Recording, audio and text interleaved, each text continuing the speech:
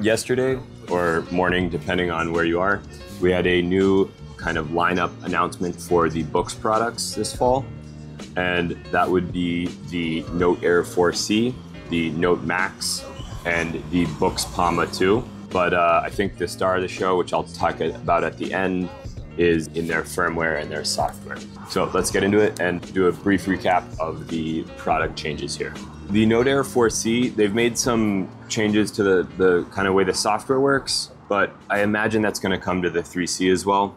The Note Air 4C comes in at 499, which is starting to creep into the reMarkable Paper Pro territory here, but which is at 580, I believe. And but the thing is, it's very different in terms of the way it's used. So this is used for Android apps and scrolling.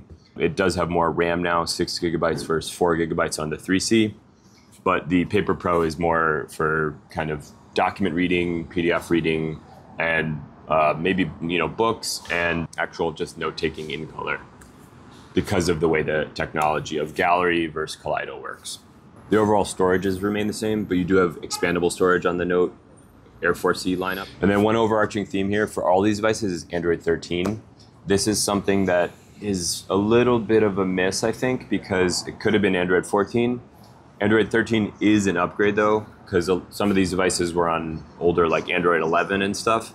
So that is uh, something that is, is welcome. It also does have a more powerful processor and I believe the Kaleido screen, they're doing some trickery to make it look a little more vibrant and, and contrasty. So that'll be interesting to see. Then next up is the Note Max, which is a cool kind of new intro in their lineup.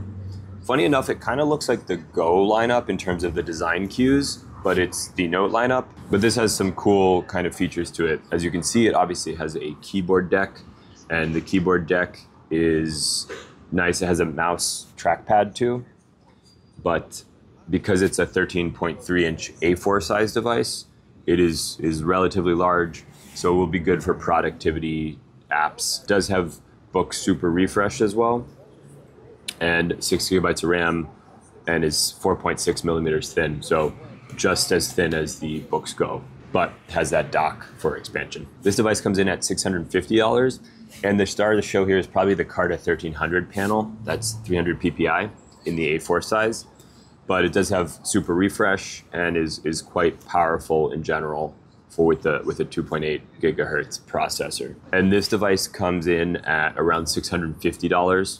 So you can see for split screen, like you know PDFs, taking notes, reading books, taking notes, calendar, all that. It's going to be quite a productivity powerhouse here. Interestingly enough, though, I don't think they mentioned that it has a front light, which lends to the thin size. Yeah, the Carta 1300 panel should be great. I did a video about that up here. You can check out if you'd like to see that. Really, really good specs for the Note Max here. Probably the one I'm most excited about testing out. And the Boox Note Max comes in at 650 there. Now the Palma 2, this is something that I was totally expecting it to maybe have a SIM tray, maybe to be a Kaleido screen, and like maybe have a Wacom EMR.